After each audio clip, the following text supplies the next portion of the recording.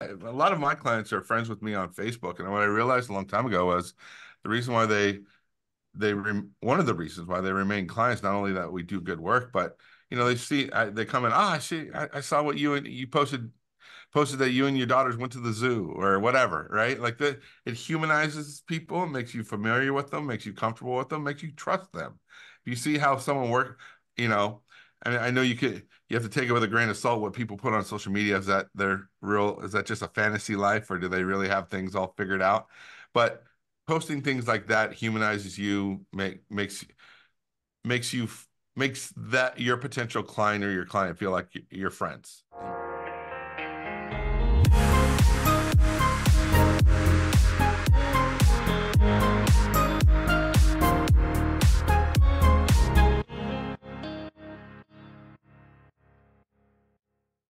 Hello, hello, hello. Welcome to the Real Estate Law Podcast. Thanks again for joining us for another episode.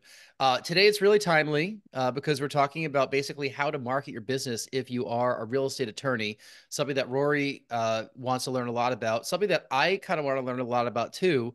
Not a couple minutes ago, you know, I got told by my social media person that we're not going to work together anymore like maybe I was just too difficult of a client, but uh, I need to go back to the drawing board and find find somebody else that could that could run our social, Rory, and and and you probably do too. And our our guests might be able to point us in the right direction. Yeah, and I'm definitely gonna be taking a lot of notes today um, because this is a topic that I care a lot about, despite not being very good at it myself. Yeah. Um, and I know that we as attorneys like to use a lot of excuses, saying that ethical concerns prevent us from doing lots of different things. Um, and as an industry, we're not the best at our marketing and sales approaches.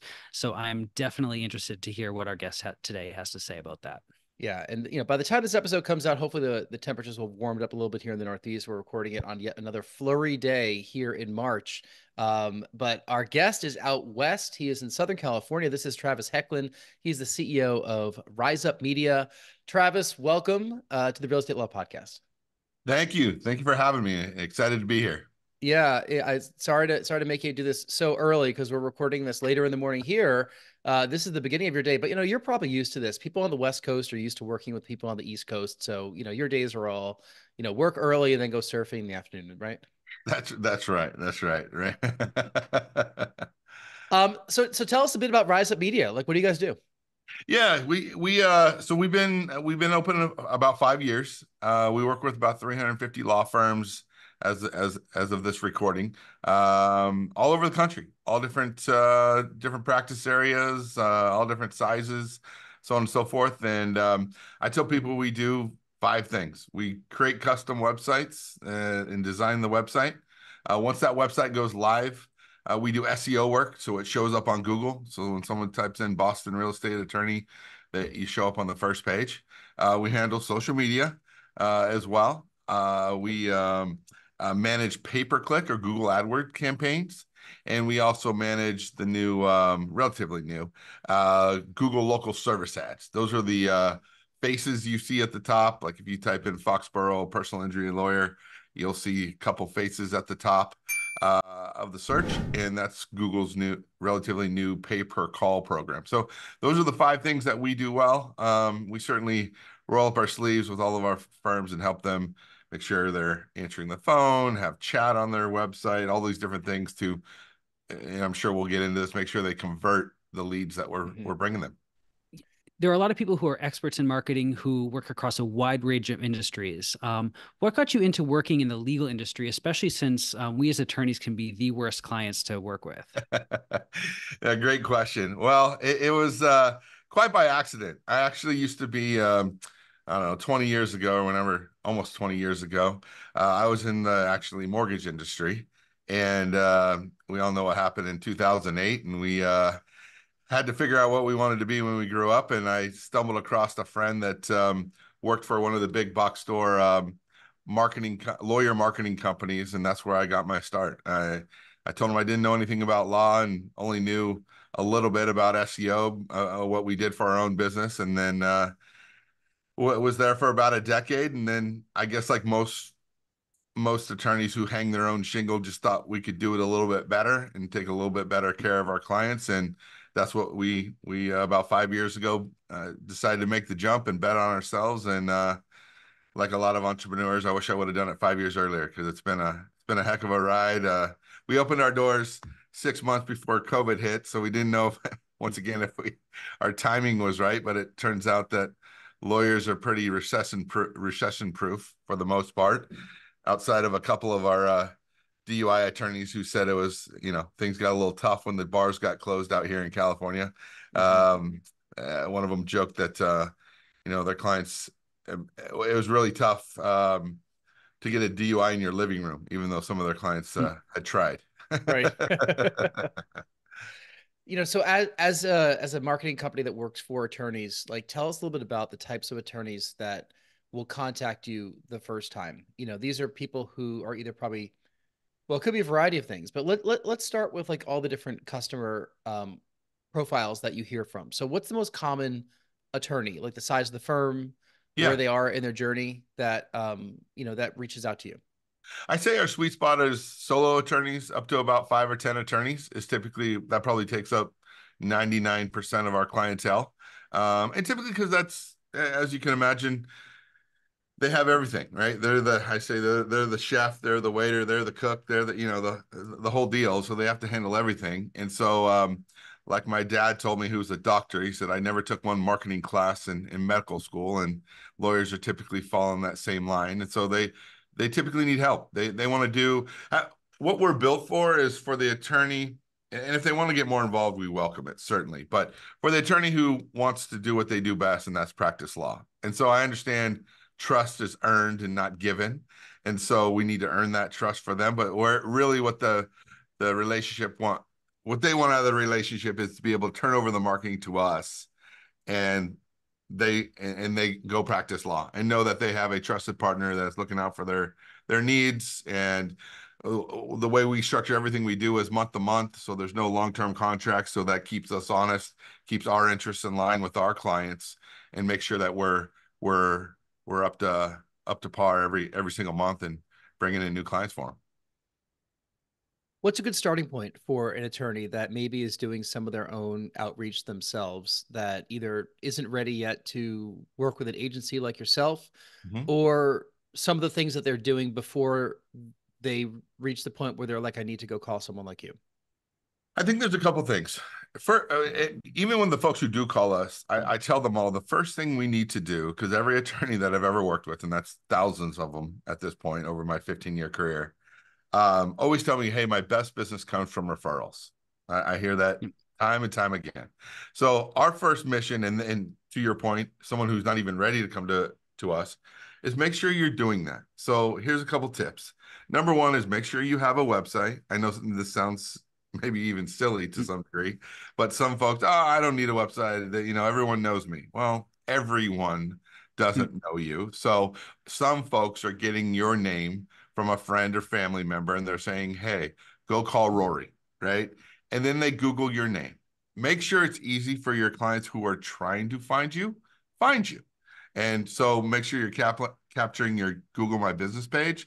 When you Google a business, it's that maps and where you can leave reviews. Make sure you're capturing that so people can find you and find your phone number. Make sure you have a website. Make sure it's it's not turning people off, right? It doesn't make sure it's not looking looking like uh, even though it may be um, acceptable these days post COVID, is uh, make sure it's not make sure it doesn't look like you're working out your underwear in your garage, right? Um, and make sure you have your contact information uh, ready, re- ready and available for folks when they do want to pick up the phone to call you. So I think I think that's number one. So make sure you have a good online presence, and you can do it. Listen, there's free versions of websites you can go build yourself, right? So it's not this is not a cost thing. And then make sure you're getting reviews. Like I think 89% of people look at reviews these days before they hire a, a, a, a, company or a service. So make sure you're going and getting the folks who you're doing good work for. Make sure you're getting those reviews because that's going to convert more of the referrals that are already trying to find you. Because like referrals comes in twos and threes, we say, right? I go, I ask you, Rory, hey, you know, who who do you send your DUI stuff to? And you you probably rattle off two or three names call so and so so and so or so and so and that's how people are starting their search. They're grabbing their phone and they're starting to do a google search. And if they can't find you they're just going on to the next. So make sure you're you're uh you're catching the fish that are trying to jump in your boat if you know what i mean. Yeah, absolutely. And there's so many different things in social media and online that, you know, one needs to do. Uh, it's a very complicated, it's simple, but it's complicated, right? You know, it's a Mm-hmm. relatively finite list of things, you know, SEO, pay per click, you know, local service ads, Google My Business, whatever it's called, Google Business Profile, you know, really just doing a good job and making sure that you have that presence everywhere. But it's so time consuming. It just is like in any business, not just law, but it's Yep. very, very time consuming. So, you know, to your point about attorneys who want this stuff off their plate because it's not their expertise, they get to go practice their law instead. You know, what are the kind of things that you're taking off their plate? And like, you know, what is a typical engagement? Like, do you have a team of people both, you know, here in the US and offshore who are actually physically doing all this, you know, digital advertising? Yeah, we have uh at this I think as we sit here today 40 plus uh full-time employees here both mo- mainly here we do have some folks offshore as well. Um but uh, what we take off their plate is eh, what I tell people is listen, anything when you're starting a new business or wherever you're at in your business, you know, we all have a budget. So if you can do, I tell people, if you can do it yourself, don't hire an agency like us to do so. But as things get busier, I mean, when when I started this, I was doing our own social media posts before we had a whole social media department, right? Because that's that's what I could afford to do, and that that is something that.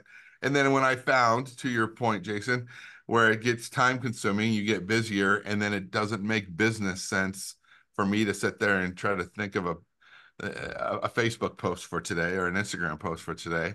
Uh, you you you outsource that, and so um, we you know social media is typically pretty easy for someone to handle, but what they if they're looking the main thing that we take off people's plate in the beginning is probably their website and doing SEO work there because they may not have most times they don't have the SEO chops to get their website to show up on the first page of Google for whatever city or town or county they're trying to show up for. Um, so that's certainly the heavy lifting that we typically do because we're writing content for clients every single month, right? If they want to show up for landlord tenant in Boston or contract disputes or real estate disputes or whatever it may be, we'll write, we write that content um, for them and do all the SEO work, which typically they can't do Mm-hmm. or don't want to do. It's probably more accurate. I want to ask a, a question about offloading some of this, particularly for smaller firms or solo practices where the individual attorneys are, you know, their personalities are a major part of it. When you start to offload it, how do you keep the attorneys involved in as a as the face of their own business instead of Yeah. just kind of abdicating full responsibility for the marketing?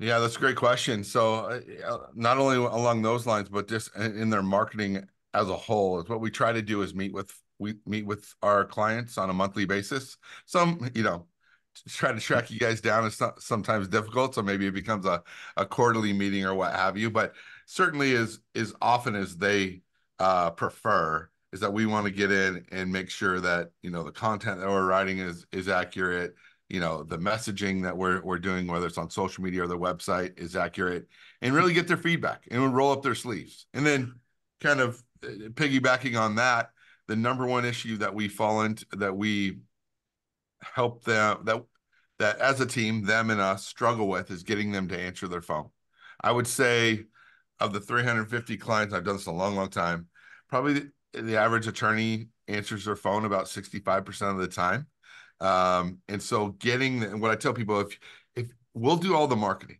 you do good work in the in the lawyer space, and and then make sure you're answering the phone. Whether you do it or you outsource that because you are too busy, or you're in court, or whatever it may be, right? Uh, make sure you're answering the phone because when you're if you're answering the phone consistently, because I know your competition is not, is um, you know you'll I tell people listen, you'll spend half the money in marketing, get twice the result. It's just it, it's it's just rampant, and I get I understand why. Listen, we all struggle with that as a business, but especially attorneys, it's really really tough um, for them to do that, and they miss a lot of business. So we we help them record the calls, listen to the calls, train train their staff to make sure they're answering the phone correctly, and that is that's certainly something that's super important that we roll up our sleeves. It's not even in our job description, but uh, to keep folks on board and seeing success we uh, we and we enjoy doing it rolling up our sleeves getting in the trenches with them and making sure that they're successful Now, I know that's like a, a, one step after kind of your role, but that's step two problem of what to do when the leads come in, whether it's an email, a website response, a phone call. Um, do you have any best practices for the attorneys on how to systematize that second step after the leads come in? Well, it first is, is answering the phone, right? They say I think 72. I'm throwing a ton of stats at you here, but 72% of people um, pick the first attorney they talk to. So know that going into it, it's that important, right? And so um, the sooner you can get a consultation, whether in person or even it's acceptable these days via Zoom if need be, um, get in front of them. Because people don't with a legal issue they don't want to go tell their story to 12 different attorneys. Let's be honest mm-hmm. right? They, they don't know you from the guy next door or whoever they're seeing online so they just want to find somebody that they like and trust. And they want and, and, and the stats show that 72% of the time they're they're picking the first person they talk to. Um so how has ai changed your business? Because you know i work with a couple different resources that allow me to create reels very quickly um, yeah. that i would not have been able to do beforehand. Uh, copywriting services with ai have really helped uh, phrase emails or website copy or anything, you know, where you know we call it the blank page syndrome, where you start with a blank page, you're not really sure where to go, but AI might be able to give you some decent content that you could then edit. Um, and I've seen a lot of content online from companies that create content for you name the business. You know, mm-hmm. some of it feels really canned, which is yep. fine. We've used services like that ourselves.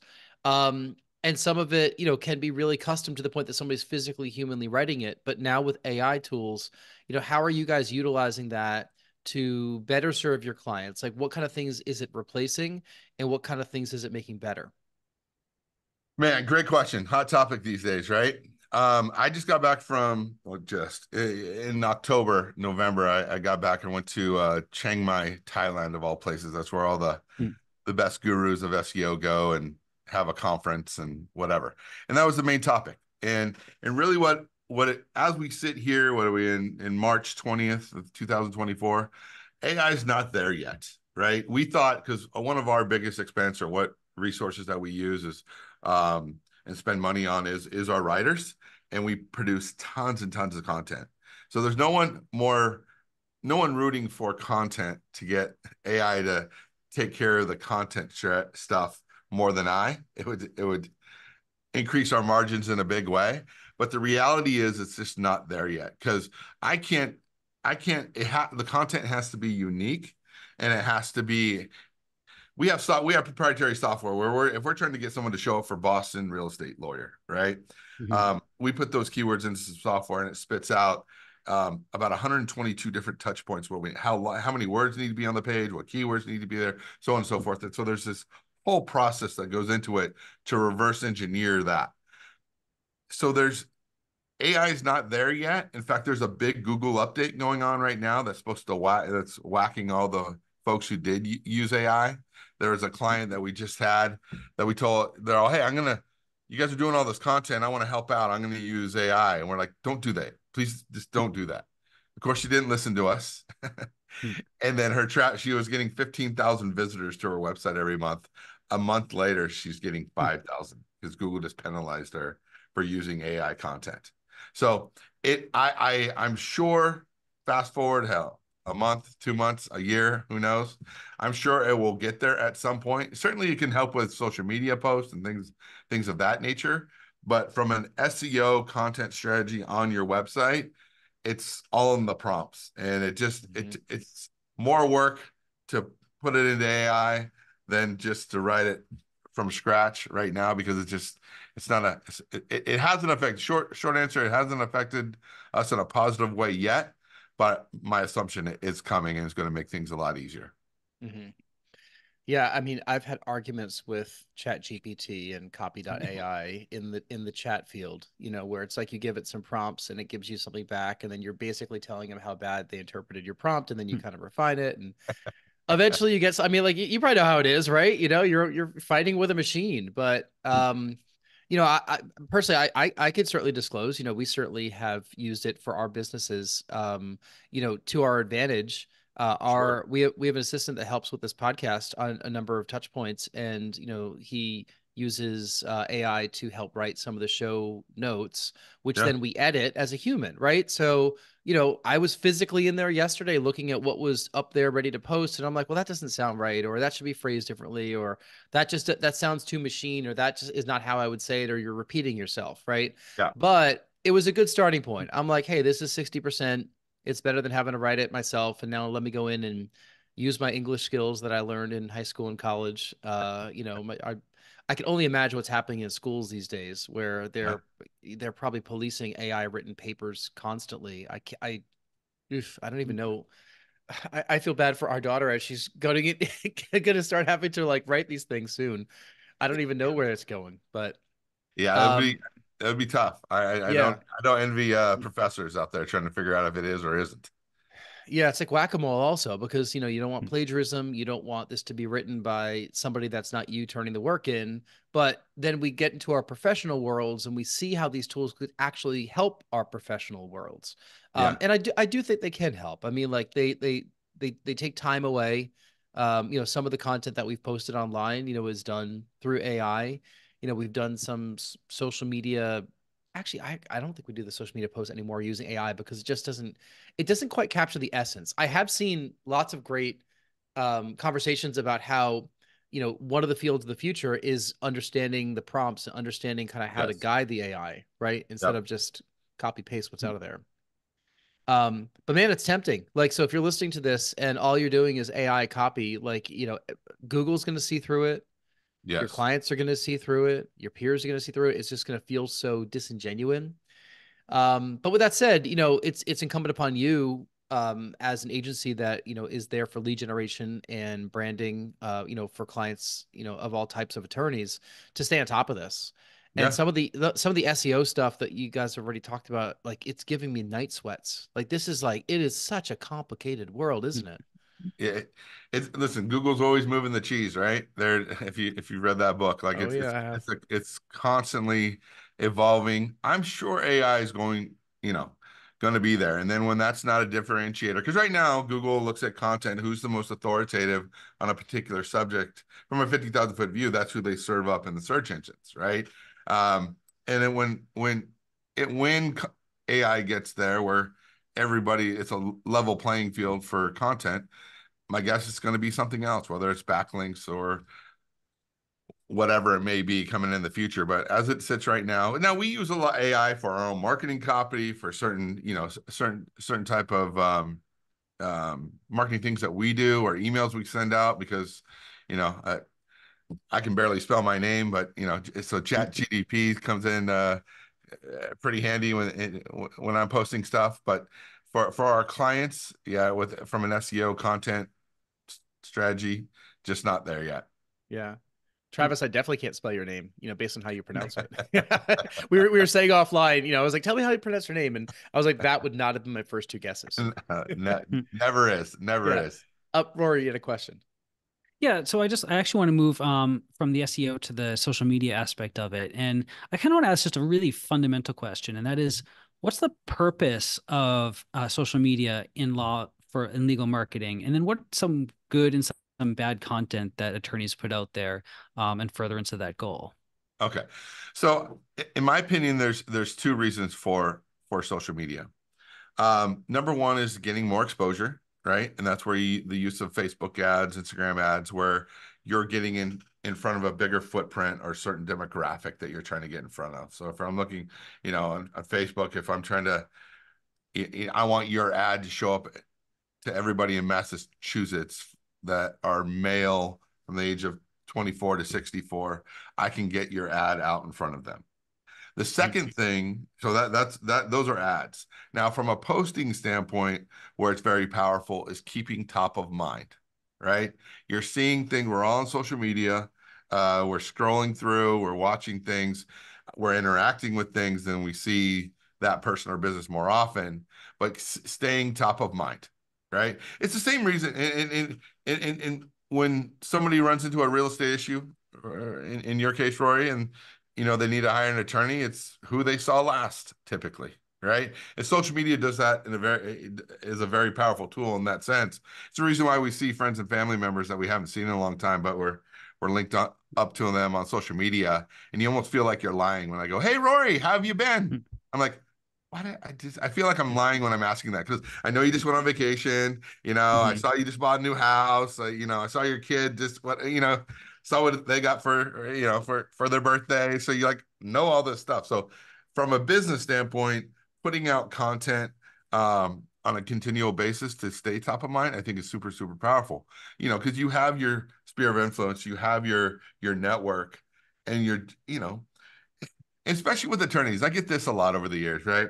I was golfing with a buddy of mine who does uh, mergers and acquisitions. This was some time ago, and uh, I go, "Do you do, do people know what type of law you do?" Like, Travis, I have to hmm. remind them all the time. That's why I get calls for DUIs and uh, car crashes and divorces. And I'm like, I, am gonna. I, I'm, I do mergers and acquisitions in a you know corporate corporate firm, right? And they go, he goes, and and to take that further, he's all, my dad, I've told him what I do every single t- eh, every single Christmas and, and Thanksgiving. And when I fly back to their house, they go, Dad, how you know, my dad goes, Hey, how was that? Any, trials lately? And they're like, Dad, I do mergers and acquisitions. There's no, it's not like what you see on TV. So making sure people know what you do, right? And making reminding them of what they do. So that's that's super, super important to keep top of mind, no question. I'm not oh, sure and bad content. Bad content. Here's a tip no one cares about you. People care about how you can solve their problem. Stop beating your chest and telling us how great you are. Tell us how you can solve their problem. That would be my big tip to people. Um, because you just see so I get it. You're trying to get let people know you're good at what you do, but that's not why people are aren't are going to look you up. They're going to look you up because they heard of a solution you had to their problem. So make sure you're speaking to them and not saying how great you are all the time. Now, now, what about the human side of it, though? You know, in a lot of other industries, people try to humanize themselves using information about themselves, their families, whatever it is. Um, sure. I get it. You know, you're not pounding your chest that you won this trial or anything. From the real estate agent side, you know, I always kind of shudder when all I see is an agent posting, you know, houses that they either sold or houses that they listed. Um, isn't it isn't it fair to say that people like to work with people that they like to do business with? So it's good to know a little bit about who they are as a human. Absolutely. I mean, I, I, a lot of my clients are friends with me on Facebook, and what I realized a long time ago was the reason why they they one of the reasons why they remain clients not only that we do good work, but you know they see I, they come in. Ah, oh, I see. I, saw what you and you posted posted that you and your daughters went to the zoo or whatever, right? Like the it humanizes people, makes you familiar with them, makes you comfortable with them, makes you trust them. If you see how someone work, you know, mean, I know you could you have to take it with a grain of salt what people put on social media. Is that their real is that just a fantasy life or do they really have things all figured out? But posting things like that humanizes you, make makes makes you makes that your potential client or your client feel like your friends. And mm-hmm. and, and you certainly want that. Okay, l- let me give a real life example also, you know, related to what I know about what Rory does, because not of all of us know what each other does. I don't even know what he does all the time sometimes. He has no idea what I do. Our parents don't know what we do, right? So, okay, so I know that a lot of Rory's clients are are are other businesses, right? They're they're B two B. So it's not necessarily somebody that's a personal injury case that's looking for a personal injury attorney. A lot of who he does business with are mortgage brokers, uh, yep. local banks, national banks, um, you know, along with, you know, land disputes and contracts and wills and and estates and that kind of stuff. So do do you guys have recommendations as to how a attorney who whose primary target is another business can can do some you know good smart marketing online? First, I would say, listen, uh, business and real estate lawyers for falsely think that their clients aren't online. They they just are. Now listen, I, I tell business attorneys like I might not bring you Wells Fargo or you know Walmart or something like that, but a lot of small to medium sized businesses don't aren't sitting there golfing with attorneys every Sunday. You know, when issues happen, they turn around and they're trying to find an attorney just like anybody else. But what I would tell someone like Rory is, are you being a thought leader in your industry? Right? Are people are people are you out there giving free advice to your potential clientele, right? What are some tips and tricks that your clients would want to know?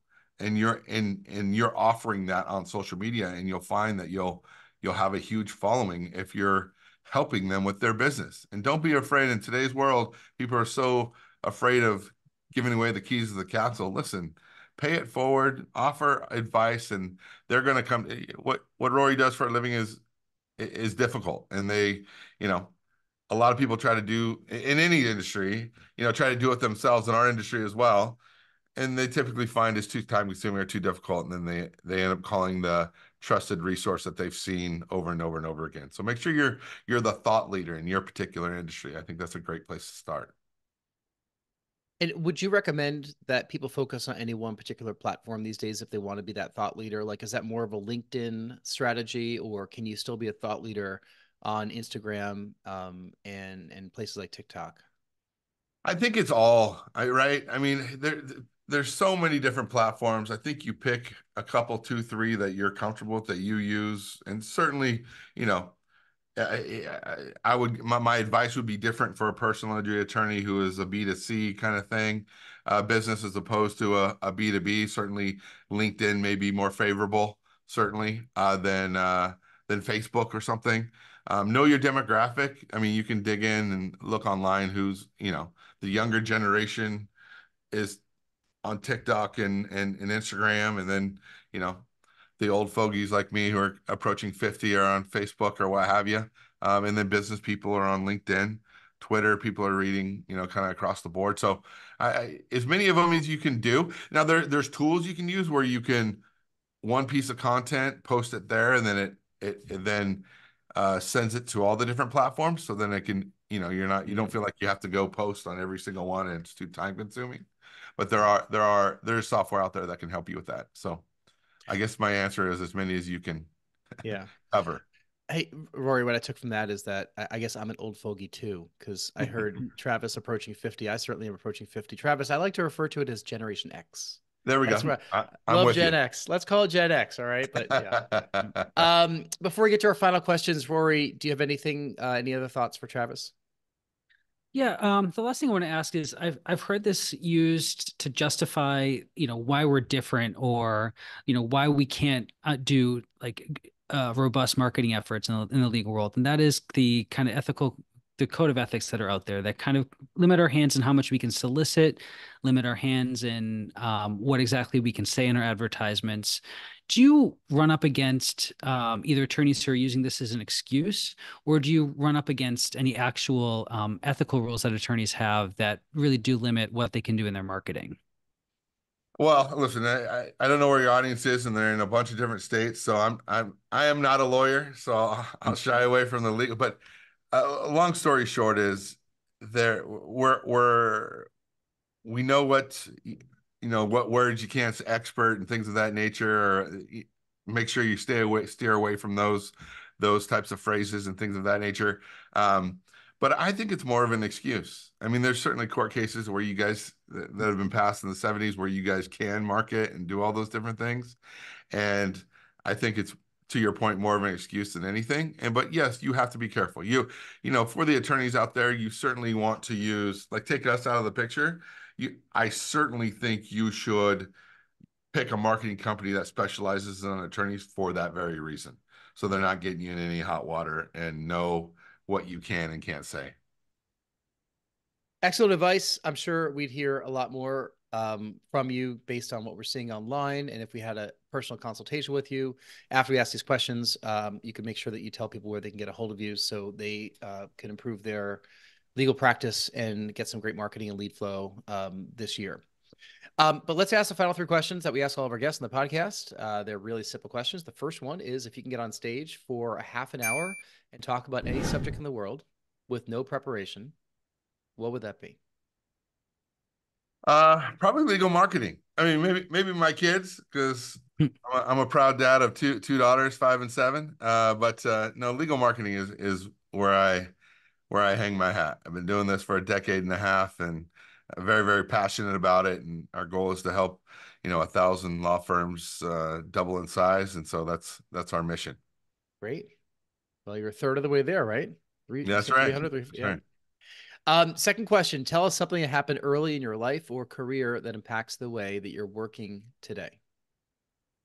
Oh goodness. Um, I played baseball all the way through college. Uh, tried to play a little bit professionally and kind of hit my my ceiling there. But uh, I think just the work ethic in the in the uh, that I learned and playing baseball for that long, playing team sports for that long, is certainly uh, um, impacted what we do here in, in a competitive nature and a work ethic and all that good stuff. I think that's that's the driving force and a lot of great lessons.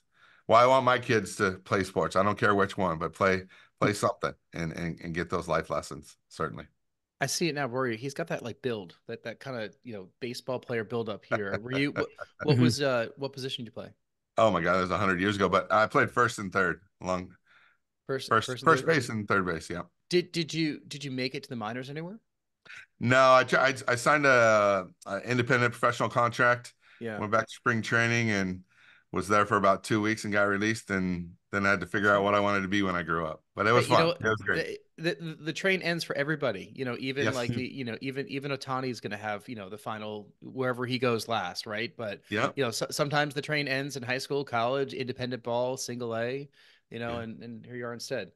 Yeah. Um, awesome. Well, good. Well, thank you for sharing that story. Uh, final question we have: Tell us uh, something you're listening to, or watching, or reading these days. Anything in the world.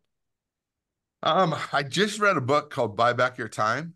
Um, the name or the author escapes me, but uh, it was a really, really powerful book about growing a business and just outsourcing um, tasks and things as we all grow a business. Uh, you know that that come on your plate that are better off being outsourced. That it's not Mhm. worth your time.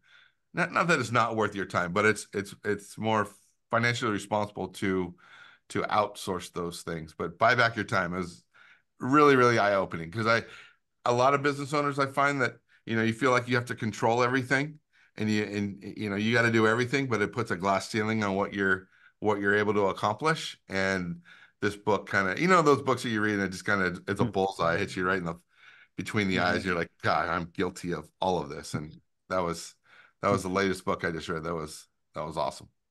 Well, it's a good segue for people that need to buy their time back, uh, especially on the social media and lead generation side. They can certainly call you guys, and uh, there you go. you can help them with that. Uh, so, RizeUp Media is your website, right? Yes, sir. And Rise is Rise is spelled with a Z. Like I told you, With we, we don't we, we didn't use ChatGPT when we uh came up with our uh the, t- the the name of our company. But yeah, it's rizeupmedia.com is our our website. Yep. You can get a hold of us there. We will link that in the show notes along with your LinkedIn, Instagram, all that fun stuff, so people could reach out to you in all those different manners. Um, cool. Rory, where can people get a hold of you? Um, if you just go to rorygill.com, you can see the different ways to get in touch with me and the different ways that I can work with you, including uh, real estate counsel. Yes. All right. And if you like this episode, you want to hear more, uh, you can go to realestatelawpodcast.com. If you have subscribed to this episode, you could watch them on YouTube and on iTunes and all those fun places if you want to listen to it instead. Uh, if you want to be a guest on the podcast, reach out to us at realestatelawpodcast.com. We'll read all your comments and messages, and we love five star reviews. So I got to ask the right, got to Travis, got to ask for the reviews, right? If you're Ask for the reviews. Ask for the reviews. So if you're hearing this, we love five star reviews. So please go ahead and do that. It will help get our message out to more people. And real estate attorneys need to hear things like this conversation. So, um, Travis, it's been a pleasure. Thank you so much. Best of luck with RizeUp Media and you know getting to that thousand goal of helping a thousand attorneys double their practices. Thanks so much. Appreciate being here. Thank you. Thank you.